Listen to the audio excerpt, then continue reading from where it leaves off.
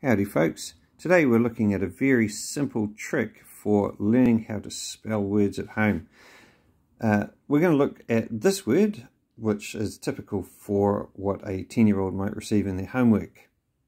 First of all, uh, write the word out clearly on a piece of paper, then sound it out, make sure uh, everyone can read it. So looking for tricky parts of the word like this T-I-O-N here, which makes a sound that doesn't actually match the letters that well. Then make sure you know what it means. Look it up in a dictionary or have a good talk about it. Really powerful way of learning about words. Here's the trick though.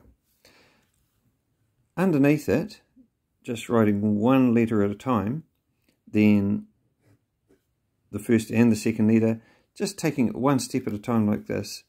This is an incredibly powerful way of getting the spelling of the word built into people's minds. Uh, there's a fantastic connection between how your brain works and moving your pen to make the letters. And it uh, means that they are counting out the number of letters in the word and counting out the sounds as they go as well. Fantastic, easy trick. Uh, doesn't take very long and works really well.